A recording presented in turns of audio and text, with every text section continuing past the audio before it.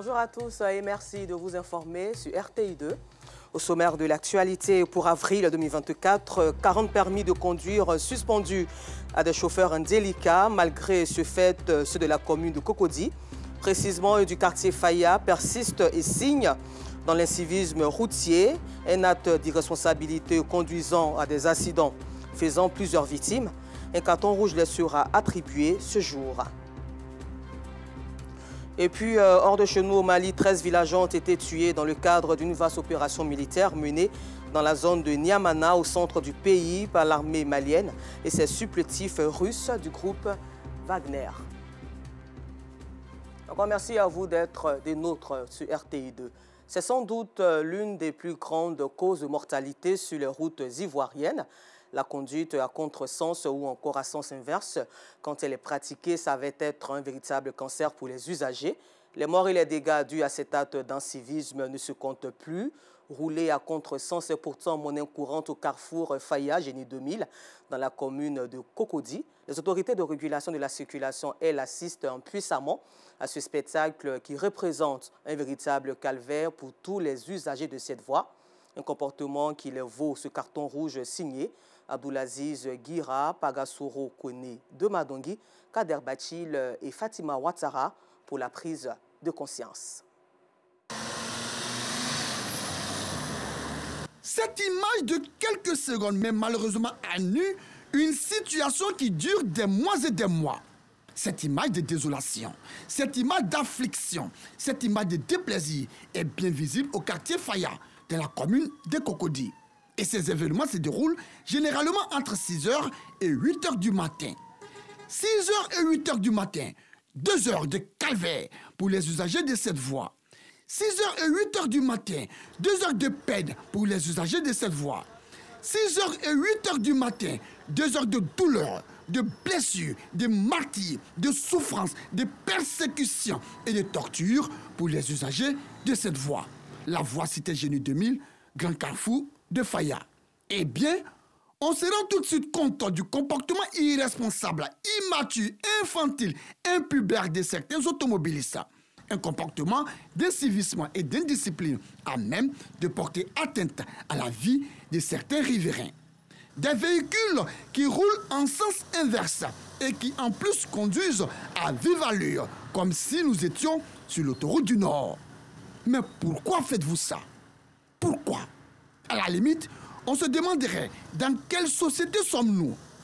Regardez de vous-même le comportement de ces pères de famille qui ont en charge l'éducation de leurs enfants. Comment se comportent-ils sur une route? Regardez et appréciez. Qui doit remédier à cela? C'est la police en fait. Mais ils sont là qui font rien. Ces pères de famille, et oui, ces chauffeurs, sans foi ni loi, conduisent comme ils veulent. Ils violent le code de la route comme ils veulent. Ils se préoccupent ni se soucient des conséquences de leur mauvais comportement sur la route. Ce qu'ils font, pour eux, est juste et normal. Ils ne doivent en aucun cas être contrariés. Mais nous qui sommes véhiculés par moto, souvent même là, si tu n'es pas trop vigilant, on peut te faire tomber. La manière que les gars roulent là, c'est pas normal. Nous sommes sur le rang, mais ils sont pressés. Et pour ça, c'est interdit. Si tu es pressé, tu dois vite te réveiller. Mais si tu as dormi jusqu'à tu te réveilles à 10h, 9h, 10h par là, là tu es pressé, c'est pas normal. Tu dois rouler comme nous aussi. Voilà, il doit faire le rang, il doit faire comme nous. Si tu es pressé, tu dois vite te réveiller, c'est tout. Heureusement que dans ce pays, il y a encore des citoyens consciencieux, patients et responsables, des modèles et des exemples dans nos sociétés. Ces usagers consciencieux que vous voyez là, intègres et honnêtes, par exemple, ont décidé, eux, de suivre correctement la file et ont aussi décidé de conduire en tenant compte du code de la route. Mais hélas, ils se voient tout aussi menacés. Menacés par ces automobilistes qui ont décidé de fouler au pied le code de la route. Menacés par ces automobilistes qui font fi de la réglementation en vigueur. Menacés par ces automobilistes qui se fichent éperdument de la loi et des mesures prises par l'autorité compétente. Puis, ces automobilistes ont décidé de ne pas calculer la présence des fonctionnaires de police sur cette voie. Et donc, ont décidé de balayer du revers de la main toutes les règles de bonne conduite et de bonne moralité. Des policiers désarmés, impuissant, inefficace, faible face à cette situation malsaine qui malencontreusement est devenue le quotidien de ces automobilistes. Une situation pour eux normale et faisable sans crainte. Des fonctionnaires de police dont la présence sur cette voie pourrait être qualifiée d'inutile. Que c'est malheureux. Mais alors, si vous êtes incapable de mettre de l'ordre, mesdames et messieurs les policiers, que faites-vous là? Dites-nous, quelle est la raison de votre présence là? Ou alors, ces chauffeurs, ces conducteurs, ces automobilistes hors la loi ont-ils le feu vert de votre part pour se comporter ainsi? Si ce n'est pas le cas, pourquoi les laissez-vous imposer le désordre aux autres usagers qui, eux, ont décidé d'être corrects Mesdames et messieurs les policiers, imaginez-vous un instant que tous les automobilistes sur cette voie adoptent le même comportement d'indiscipline, d'incivisme, de désordre et d'irrespect de l'autorité que vous êtes. Comment se présentera le tableau sur la voie Cité Génie 2000, Carrefour, Riviera Faya À un moment donné, il faut rappeler à l'ordre tous ces automobilistes qui ont décidé de vous manquer de respect et de bafouer votre autorité. Réveillez-vous pendant qu'il est encore temps. Les, transports publics, là, les BACA, ils sont, ils sont impossibles. Vraiment un calvaire, surtout pour les particuliers, vraiment. Très fier de vous, ça c'est une bonne initiative. Euh, celui qui a eu l'idée, c'est génial. Ça va vraiment nous aider. C'est l'un des problèmes auxquels nous sommes confrontés, bien évidemment, nous les usagers, parce que chaque fois on assiste à ces cas et ça perturbe tellement la, la, la circulation que vraiment c'est pas possible. Si tout le monde se mettait à queue, c'est-à-dire qu'il y a une position normale pour évoluer un peu, un peu, chacun pourrait quand même avancer quelques lents, que ce soit la circulation. Mais il arrive des fois où pendant que tu es là, quelqu'un d'autre vient couper devant toi et tu es obligé de ralentir pour le laisser passer. Et ça, vraiment, ça crée un désordre. Je ne dis pas vraiment son nom. Si, si tu ne le cèdes pas à la place, il risque d'endommager ton véhicule. Quel dommage Et le justificatif le plus adoubé par ces fouteurs de troubles les embouteillages, les ralentissements et la recette du jour. Ah, la fameuse recette du jour. La. Ah là, c'est tout le chaud. Depuis 6 heures, il s'est quitté à BRV. C'est maintenant qu'il s'est arrivé à Faya. Déjà 8 heures. Il faut souvent savoir, sinon il n'y a rien d'autre. Ça, c'est pas un là. Que c'est dommageable. Ces propos qui indignent et affligent au plus haut point certains piétons qui ont pour habitude d'emprunter cette route et qui voient ainsi leur vie menacée contre quelques pièces de monnaie. Ici, c'est un réel problème. C'est vraiment un réel problème. Parce que non seulement la voie est très restreinte, d'abord, et de deux, il y a un surnombre de population ici. Donc du coup, quand les gens prennent le sens inverse, il y a des d'accident à tout moment. Nos trottoirs même sont pris aussi pour cible par ces, usagers-là. Donc vraiment, c'est pénible. C'est vraiment pénible pour nous. Très pénible même. Une voiture qui vient par sens inverse dans ton dos, si elle a fait une mauvaise manœuvre devant, forcément, va te prendre. C'est très dangereux pour nous, la population. Il faut mettre l'accent sur la sensibilisation, leur dire que ce n'est pas normal. Eux-mêmes, vie en danger. Le le ça vient en danger aussi. Donc franchement, ce n'est pas normal. C'est un manque de civisme en fait. Parce qu'un homme qui est conscient que sa famille est à la maison, c'est que sens inverse, c'est interdit. Si lui sort, que l'autre voiture vient aussi en plein, il y a collision. Donc, est-ce qu'il va avoir l'argent encore? En retard Selon des usagers, les embouteillages de cette zone sont dus aux travaux de construction des trois échangeurs de boulevard Germain Kofigado, ex-boulevard Mitterrand. Alors, est-ce une raison pour troubler la circulation? Est-ce une raison pour ne pas respecter le code de la route? Est-ce une raison pour ne pas respecter les fonctionnaires de police? Est-ce une raison pour mettre en danger la vie des riverains, des piétons et des autres usagers?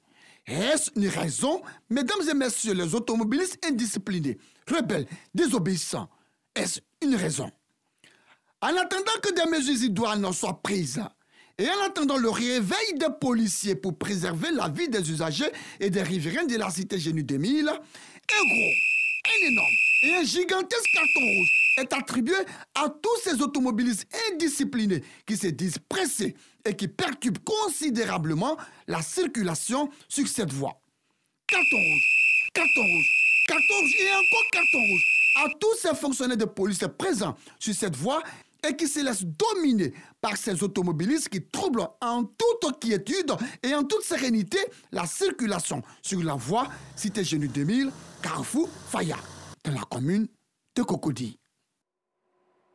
Des cartons rouges qui, on l'espère bien, serviront au changement de mentalité des chauffeurs du carrefour Faya, Génie 2000, dans la commune de Cocody. À présent, avec Assistant Diarra et Kader Bachil, allons à la rencontre de certains parents d'élèves pour qui la nourriture faite à la maison est plus que nécessaire pour la santé de l'enfant. Koumassi, quartier Remblai 2. Dans cette cour, Mohamed, élève en classe de CM1, se prépare pour l'école. Avant de partir, sa mère lui donne de la bouillie de riz en guise de petit déjeuner.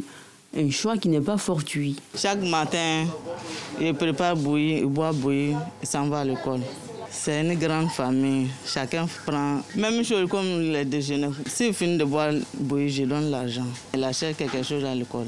Après avoir pris son petit déjeuner, Mohamed se met en route pour l'école accompagné par sa mère. Toujours dans la commune de Koumassi, au quartier à les parents qui n'ont pas le temps de concocter un petit déjeuner pour leurs enfants les accompagnent avec des sandwichs achetés chez des commerçantes aux abords des routes. C'est le cas d'Alphaba qui dépose sa fille tous les matins à l'EPP Sikoji. Elle doit prendre son petit déjeuner bien avant que les cours ne commencent. Il y a une dame qui vend pain à côté de nous. Donc chaque jour, on paie pain avec elle pour donner aux enfants. Dans cette école, certains enfants partagent de la nourriture avec leurs amis qui ont déjà pris leur repas à domicile. Chaque matin, ma maman me donne de l'argent pour payer mon petit déjeuner. C'est bon de partager la nourriture avec ses camarades parce que ça crée l'harmonie. Non loin de la commune de Koumassi, à Marcouri, Christine Yao achète des beignets pour ses enfants sur le chemin de l'école. Mais avant, elle vérifie l'hygiène des commerçantes. Quand il veut soit le pain, soit aussi la bouillie avec galette. On est obligé de lui donner une petite somme, soit 100 francs, 150, pour qu'à 10 heures, il puisse acheter encore de la nourriture pour manger. Je n'achète pas la nourriture partout. Soit la dame chez qui j'ai acheté la nourriture, là. Voilà, elle est là depuis longtemps, on a l'habitude d'acheter avec elle. Voilà, donc à part elle, je n'achète pas quelque part. C'est important de contrôler l'alimentation de son enfant parce qu'on ne sait pas d'où peut venir la maladie. Souvent, je prends la bouillie avec de la galette. C'est très bon. À 10 heures, j'achète du pain avec macaroni.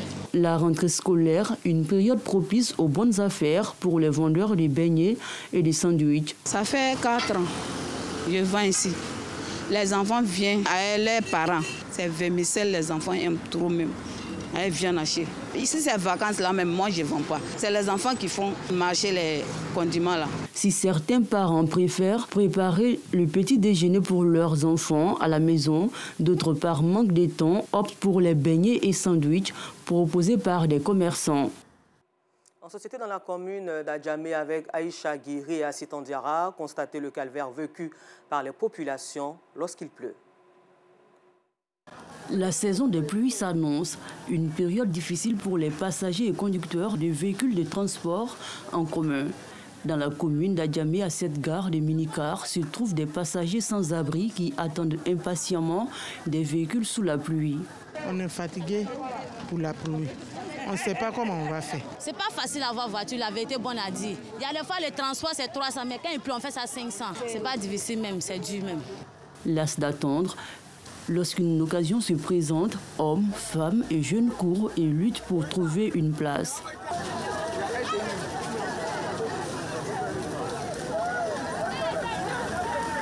quand il pleut, ah, on ne gagne pas de voiture, c'est un d'abord.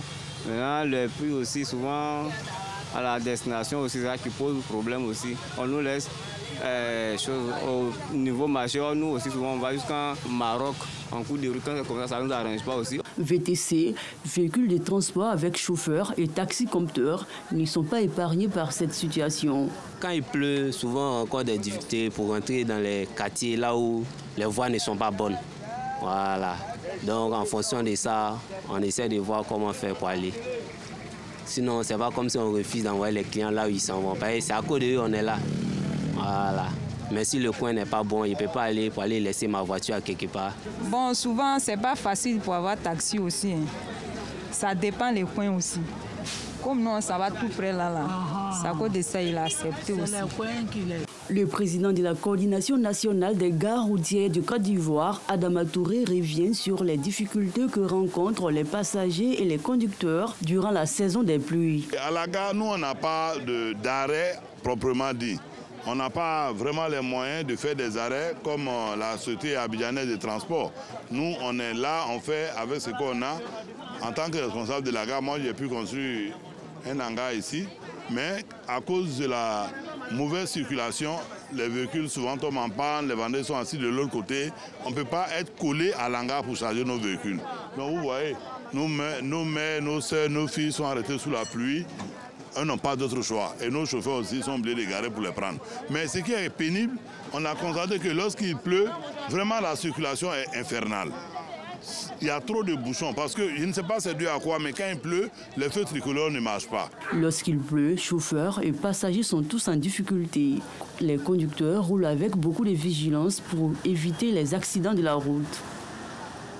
Et puis terminons ce temps d'information au centre du Mali où 13 villageois ont été tués dans le cadre d'une vaste opération militaire menée dans la zone de Niamana par l'armée malienne et ses supplétifs russes du groupe Wagner. Merci et bonne suite de programme sur RTI2.